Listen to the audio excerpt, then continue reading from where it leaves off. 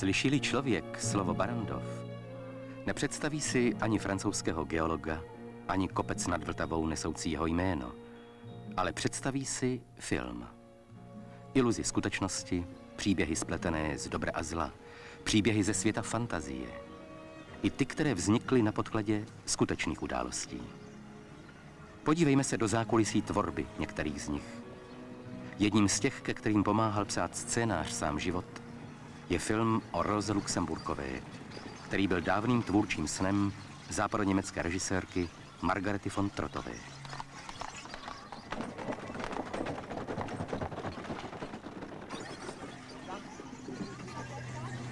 Drobná žena zachumlaná před mrazy lednové Prahy realizuje film o jiné ženě žijící před 80 lety. Proč film o Roze Luxemburkové? A proč realizace v Československu?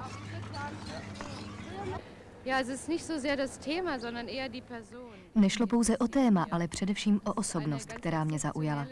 Jedná se o zcela výjimečného člověka. Ženu, která v našich dějinách sehrála velmi důležitou úlohu a přesto se ještě neobjevila ve filmovém zpracování. Tato žena se politicky velice angažovala a přesto zůstala vždy ženou, která i malé životní události brala zcela vážně. Film točíme v Německu, hlavně v Berlíně, a potom v Československu, především v Praze, ale i v Kutné hoře, Liberci a Terezíně.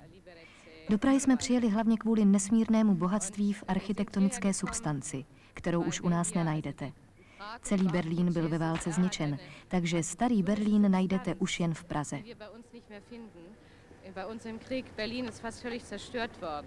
Also das historische Berlin findet man eigentlich nur noch in Prag.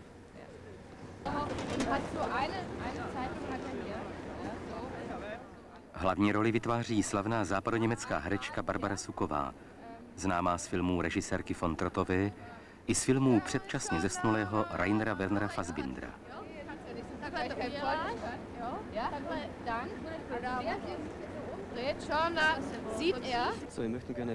Co pro vás studium role Rózy znamenalo?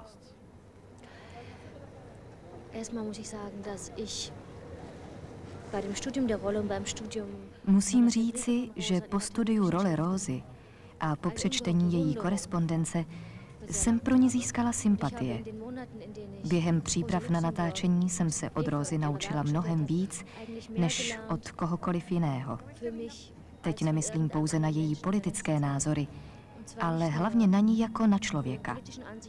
Obdivuji, s jakou přímostí, vášní, ale i s jakým klidem dovedla žít svůj život.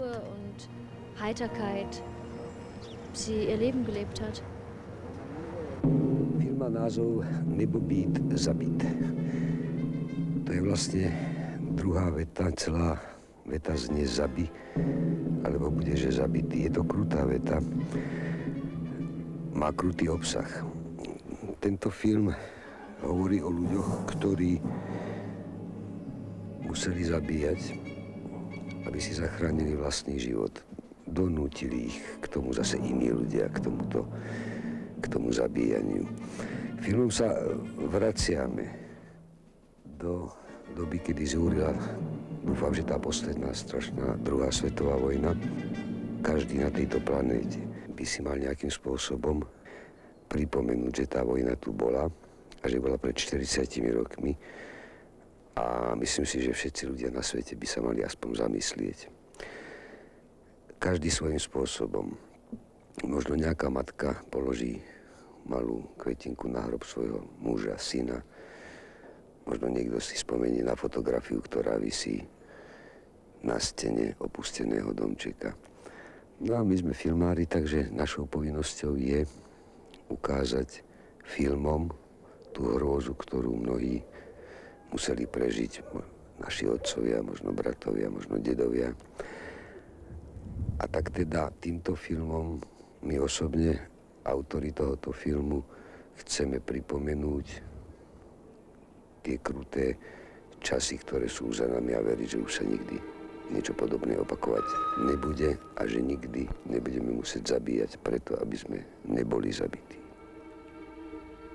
Tvůrci filmu Nebo být zabit režisér Martin Holý a scénáristé Kamil Pixa a Jaroslav Vokřál, zpracovali krutý komorní příběh o lidskosti v nelidských podmínkách, vycházející z reality dominujícího zla druhé světové války.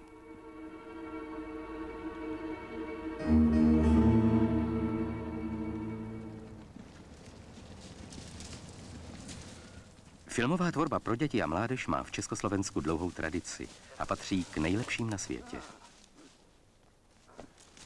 Aufstehen, Wilsmacher! Hey! Guten Morgen! Mit dieser Flucht wirst du hängen! Ich möchte wissen, Cornet, was das bedeuten soll.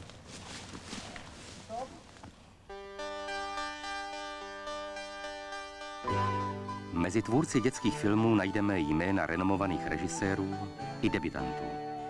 Těm druhým patří Zdeněk Zelenka, režisér pohádkového příběhu Čarovné dědictví, který vzniká v koprodukci filmového studia Barandov a studia Německé demokratické republiky DEFA.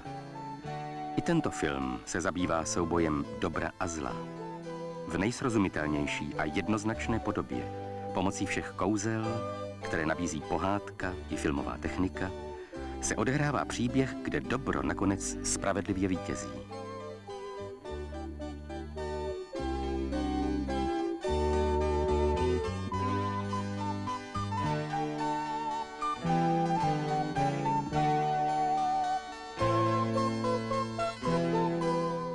Režisér Zelenka o svém filmu říká. Když jsem se dozvěděl, že budu svůj první film natáčet v koprodukci, tak přiznám se, měl jsem malinký obavy, protože e, natáčet jakýkoliv film v koprodukci vždycky sebou přináší e, řadu problémů, e, jazykové potíže, organizační a tak dále. A, ale dneska, když teda jsme se vrátili z natáčení z DEFI, z Německé demokratické republiky, tak můžu říct, že ta spolupráce proběhla naprosto ideálně. My jsme eh, se pokusili příběh, který točíme, charakterizovat eh, tady s kameramanem Viktorem Ružičkou jako příběh, eh, jako komedii. Jak jsme to říkali? příběh? Dobrodružnou komedii s pohádkovým motivem. Motiv. Tak jsme to říkali, ale měli jsme si to napsat. A doufáme, že se nám tento film podaří natočit tak atraktivně, aby děti, když budou odcházet z kina, říkali tu větu, kterou tak často říkají, když se jim film líbí, to bylo správný. Na to půjdu ještě jednou.